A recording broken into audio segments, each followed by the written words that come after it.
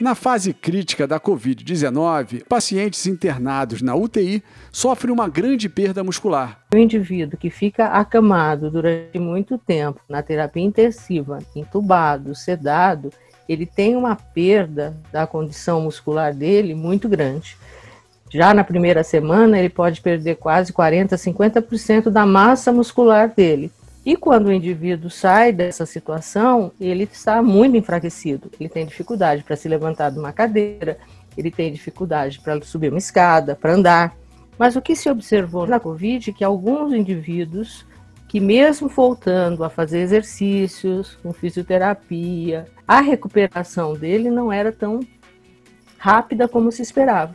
Além da imobilidade, que outros fatores podem afetar os músculos de pacientes com a forma grave da Covid-19? Provavelmente, além dessa perda causada pela imobilização que ele fica no leito, há alguma coisa a mais que é uma inflamação do músculo, que muitas vezes ela é manifestada pela dor no corpo, né, que a gente fala mialgia, dor no músculo, e que é uma inflamação mais grave do que aquilo que a gente uh, está acostumado a ver, né? tem outras viroses, aquele mal-estar, aquela coisa é uma mialgia, é uma inflamação muscular. Mas na Covid se manifesta mais intensamente. E uma das coisas que se descobriu é que havia uma alteração da vascularidade, do endotélio. O que, que é o endotélio? É, a, é os tecidos que revestem os vasos. E esse endotélio, pela Covid, ele sofre um processo inflamatório, uma destruição que leva aos, pro, aos problemas de trombose, que todo mundo falou, e isso também afetava o músculo. E provavelmente, além da imobilização, a gente tinha inflamação e mais essa lesão endotelial. Os músculos podem se regenerar com a prática de exercícios? O exercício faz com que a gente vá aumentando o número de fibras musculares. Então ele se regenera.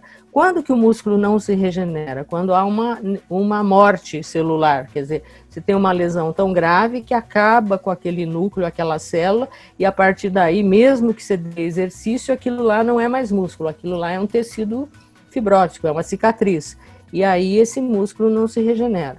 Uma das perguntas que se faz é se nesses indivíduos que tiveram um processo inflamatório tão forte na COVID, com tanta dor, se a lesão muscular pode chegar a esse ponto. Como se fala do pulmão, se fala do coração, se fala do próprio rim, né? Os indivíduos que evoluem com problemas renais. Então, são alterações que a gente não sabe como vão se comportar no futuro, se elas vão se recuperar ou se alguma coisa vai se perder, no músculo também.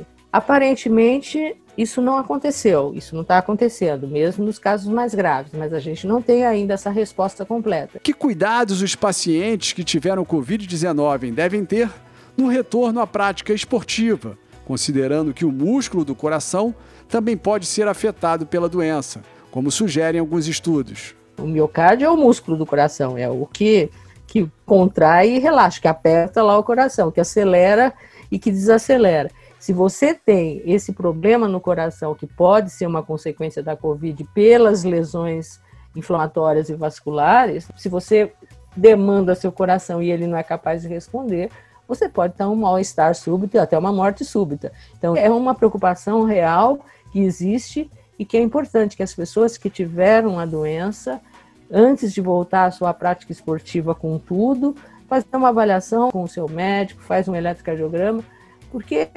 provavelmente a imensa maioria das pessoas não vai ter nada, vai conseguir voltar, é só um processo de reabilitação. Mas com essa quantidade de doentes que a gente teve, se a gente tiver 2, 3% com esse já é um número grande e a gente tem que se preocupar com isso sim. E a literatura está apontando a morte súbita em pacientes que voltaram a fazer esporte pós-Covid. Então, associado à perda da massa muscular mais um problema do miocárdio, às vezes a gente pode ter uma situação de risco para os pacientes. O indivíduo, vamos dizer que ele era um maratonista, teve uma Covid mais ou menos aí moderada, foi voltando, não está muito bem, mas ele quer voltar a treinar, porque precisa treinar, e esse indivíduo pode estar em risco tanto porque ele não tem uma condição muscular adequada, como ele pode ter escondido aí uma miocardiopatia e a hora que ele for fazer um esforço maior, ele pode ter uma morte súbita. Então a gente tem que ficar atento a esses pacientes.